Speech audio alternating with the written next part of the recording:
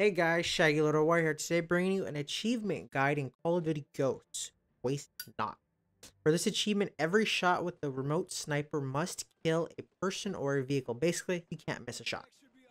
This achievement is actually, uh, I think it would be pretty missable if you're one of those people who just runs and guns and shoots everybody with the sniper rifle, not really caring if you hit anybody like I am at times.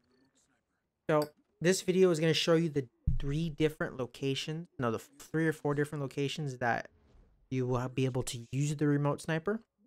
The first one is when you're breaching this room and they tell you to bring up the remote sniper to see what's on the other side of the door. When you're using the sniper rifle and see the crosshair uh, go yellow, yellow like I did right there, fire. Because that's going to be a one-hit kill. It means, it means that you'll definitely hit the person. The second one is just outside this room to the left when, you're, when you slide down the ramp. Uh, there's going to be three RPG guys firing at you. See? One guy almost hit me. Or actually hit me almost. And spray jelly everywhere. Now for the first uh, RPG guy directly right here, when he fires, he actually crouches to reload. So just wait and then aim and fire. Take it slow. And there's the third guy. And then the third part is after you find Ajax. Right about here. And you're leaving the locker room and the uh, Federation army is actually coming after you. Now this part can be a little tricky if you're one of those people that just likes to shoot everything and runs and guns and whatnot. But I don't know. You may actually be really good sniper if you're able to do if you do that a lot. So my recommendation, if you're not good like if you're not good with that, then just take your time, wait until they stop, or go after the people who are already who are already stationary.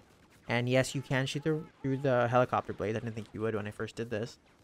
And just wait until they stop. Once they stop, just take them down. That's it. And the last part... Guy. I really don't know why I shot this guy right here. Like, he wasn't really doing anything. He just standing behind a wall. Okay, so once the uh the first helicopter leaves the helicopter right there that i have i'm hovering over that's the helicopter that you're gonna need to get out of there. So you're gonna see riley take out the helicopter pilot right there. I love this dog. I, I want a dog just like it i want to name riley. So after you get into the helicopter you were gonna um, pull up the remote sniper and you gotta you must take out three machine gun turrets on the back of armored cars like that one right there. I just pointed at the screen. I don't know why i did. See there's the first one there's the second one.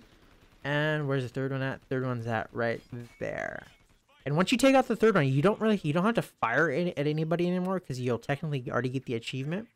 The achievement will pop as soon as the helicopter gets off screen, which is right about, and the out of range starts coming up. Come on, come on. Right there. Waste not. Well, if you like this video, check back for more. Okay, uh, Shaggy Little War, out.